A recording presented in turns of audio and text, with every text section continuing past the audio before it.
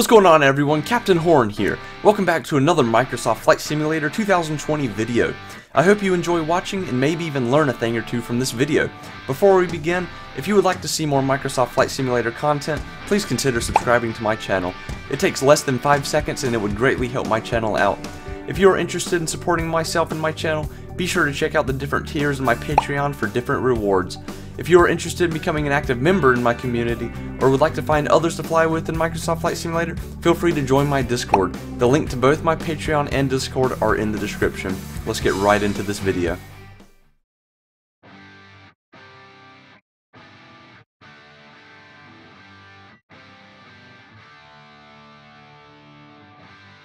Hello guys and welcome back to another Captain Horn 23 Microsoft Flight Simulator 2020 video. Um, it's been a while since I posted actually. Uh, the last time I posted was like two weeks ago in September and the main reason for that is because there was just an abundant amount of bugs currently in the simulator and I have not even flew anywhere in the simulator for about three weeks now because of the crazy amount of bugs, but I'm happy to announce that there has been a release on this day, October the 13th, 2020. It is release notes 1.9.5.0, and we are going to go over them and check it out in the game. So let's get right into so it looks like it's not too big of an update, but hopefully it fixes some of the main bugs that a lot of people, were, including me, were experiencing. So let's go over this real quick. So with the planes, the VFR map should no longer crash the title during a flight. That was a big issue. I never experienced it, but that was an issue. If you open the VFR map, it would just crash to desktop. Avionic screens or buttons in the cockpit should no longer be turned off randomly. hmm, that's interesting. I haven't had that issue either, but I guess they had to fix it. And I, I, have actually heard people say they've had that issue before, where some buttons would just randomly go off like a ghost was in there. Like it says there in the parentheses, ghost cockpit. And we've got crashes related to the use of the smart camera have been fixed. Alright, that's very nice. Airports, the NavBlue navigation data has been updated. That is excellent because I remember the active database was like from May to July of this year, which was way out of date. So that's wonderful that they have updated the navigation database. Some things with the UI here, the version history is now properly displayed in the marketplace. Multiple simultaneous downloads in the content manager are better handled to prevent crashes or freezes. The packages downloaded through the content manager should now be correctly loaded without requiring a reboot of the title, and the airport icons in the world map have been modified. That all sounds excellent to me. Aerodynamic wise, the autopilot pitch oscillation has been reduced on some planes. Um, I hope that fixes the issue with like flight level change and just it pitching up a, a ridiculous amount or uh, pitching down a ridiculous amount. Uh, we're going to find out once we get into the game. Activity multiplayer has been deactivated in the Japan Discovery flight. That's weird. Don't know why they do that. Marketplace, quality of life updates for the marketplace and with the world, autogen buildings heights have been reviewed and whatever 10 luminance is for those areas Alright guys, so that is the update. It's actually kind of short. I didn't expect it to be that small. I was hoping to be a large update. But we are pushing towards a almost perfect simulator and hopefully there's no more bugs. And hopefully this update didn't announce like 10,000 new bugs that we've never seen before. But for now, let's go into the game and go over these bugs and see if they have actually been fixed and what else I can find. Alright guys, we're now in the game and I'm in the Airbus A320NX by uh, the fly-by-wire people. And wow, let me just say, they've added a lot, like this takeoff configuration and everything, that's great. Anyway, um, let's go over the changelog and see what has changed and see if any bugs are still present within the simulator. So first of all, opening the VFR map is perfectly fine. As we see here, I can do it multiple times and I'm not crashing. That is great.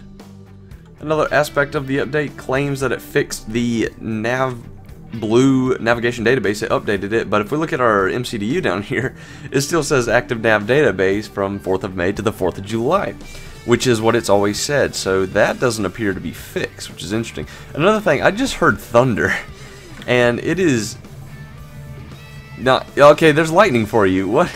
It is not raining, it's just a partly cloudy day here in Charlotte, that's a little strange. Alright guys, another issue I've noticed, I don't think this is with the simulator. This is actually just with the A320 uh, by the fly-by-wire people. But if you notice, when I try to enter a route here, KCLT to KCLT, and then enter it, nothing happens. Same way with the flight number if I put DAL 623, and nothing happens. So that's interesting.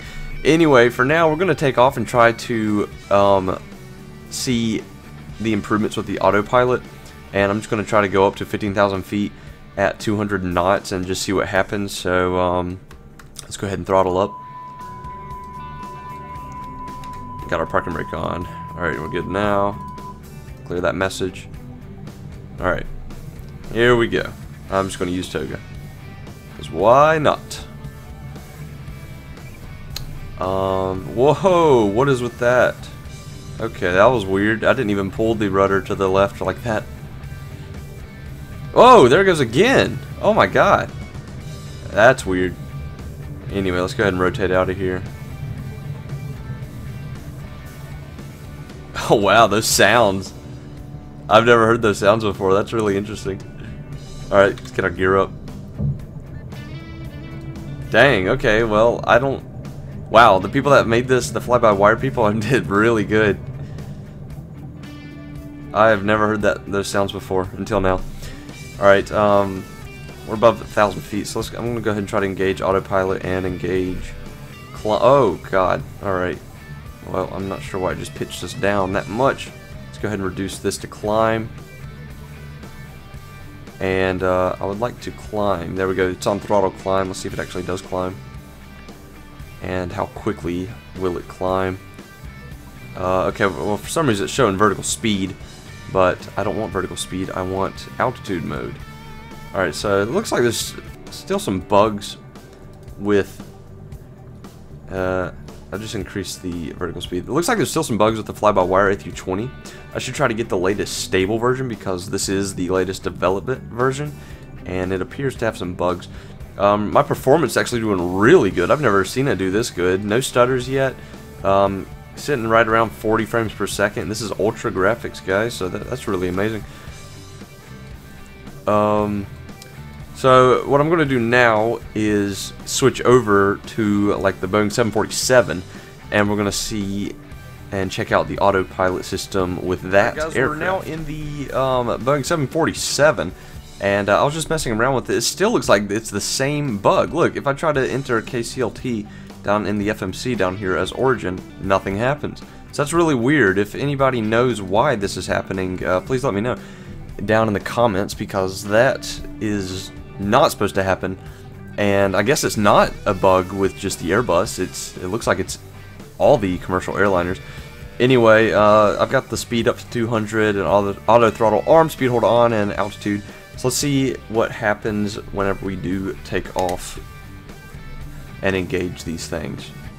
Now, one thing I noticed is I can't engage throttle hold or thrust mode, whatever, which is a little strange. I don't know if that's because I'm on the ground or what. But I'm going to go ahead and take off.